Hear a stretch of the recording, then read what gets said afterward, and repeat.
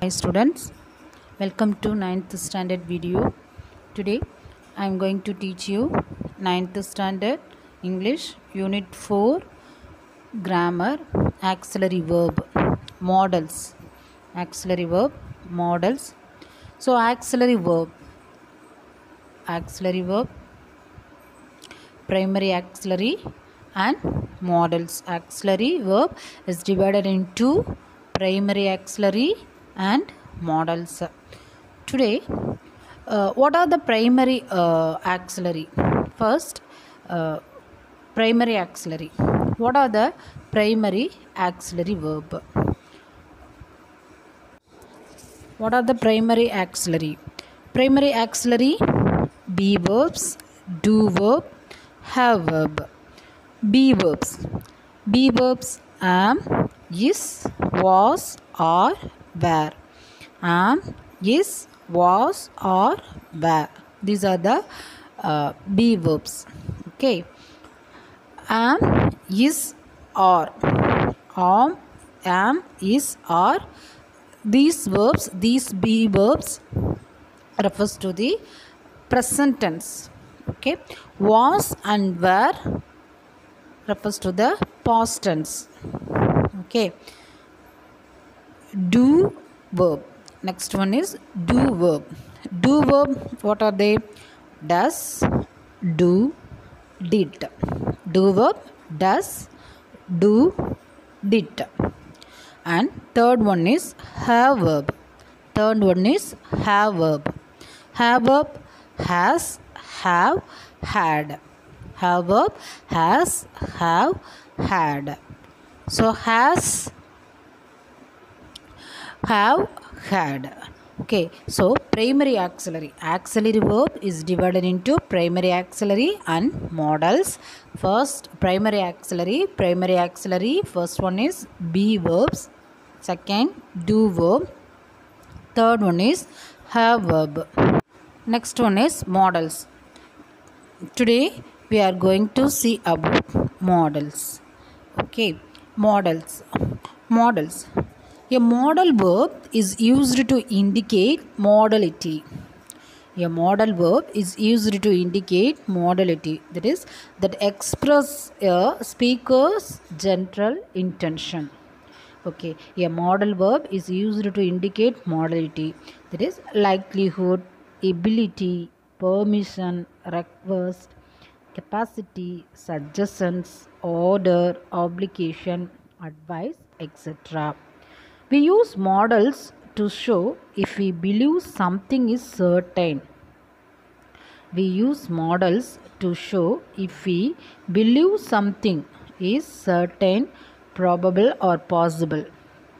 Models are can could may might shall should will would must these are the models. And semi models semi models what are the semi models semi models need dare used to or to so auxiliary verbs are divided into two categories. Auxiliary verbs are divided into two categories. First primary. Primary auxiliaries and modal auxiliaries.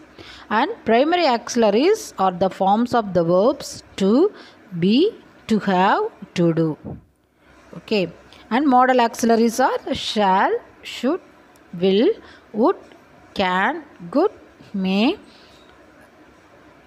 may must. Okay semi modals need dare used to ought to. And modals are followed by principal or main verbs. They expresses the mode or manner of happening upon action or event. They express the mode or manner of happening of an action or event. They are used to give an expression to ideas of ability probability possibility permission obligation duty determination etc models uh, do not change according to the number or person of the subject. Models do not change according to the number or person of the subject. The model does not go alone. The model does not go alone. It always goes with the principal verb. So what are what is the first point? Models do not change according to the number or person of the subject. The model does not go alone. It was it always goes with a principal verb. So can could may might will would shall should and must are followed by infinitive without to can could may might will would shall should and must are followed by infinitive without to. For example, Geeta must go to hospital. Santosh will help you. Devi should keep up her word. Rohit might leave India shortly. And semi-modals. Semi-modals are to and used to. Okay, semi-modals or the semi-modals are to and used to are followed by the infinitive with to. For example, you ought to keep up your promise. You ought to keep up your promise. He used to teach English. He used to teach English.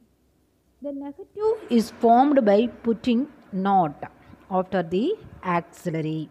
The negative is formed by putting not after the auxiliary. Students must not wear jeans. For example, students must not wear jeans. She couldn't walk. She couldn't walk as she fell down recently. She couldn't walk as she fell down recently. So, what is what is a model? What is a model? What is meant by model verb?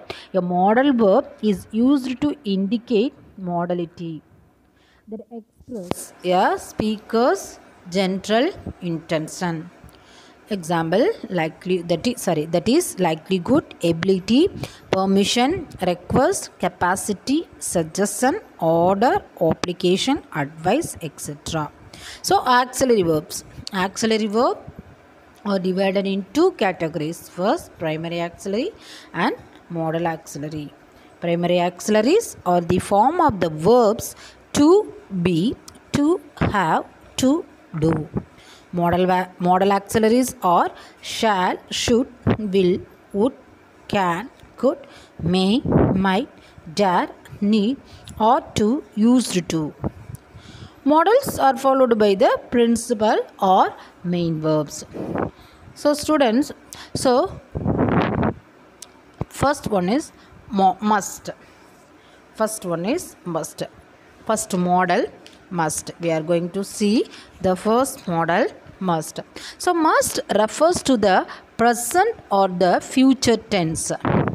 Must refers to the present or the future tense. It is used to express it is used to express strong obligation logical conclusion certainty necessary compulsion possibility. So must refers to the present or the future tense. It is used to express obligation or necessity compulsion possibility strong obligation logical conclusion and certainty. For example you must stop when the traffic lights turn red. You must stop. You must stop when the traffic lights turn red. We must obey our parents necessity. Uh, we must obey our parents necessity obligation or necessity. You must finish your assignment by tomorrow. You must finish. Compulsion that is compulsion possibility? What is possibility? She should have reached home by now. She should have reached home by now. So possibility. So must refers to the person or the future tense. It is used to express obligation or necessity compulsion possibility strong obligation logical certainty. Okay students we will discuss models in the next class. Thank you students. Thank you. Thank you for watching my video. Thank you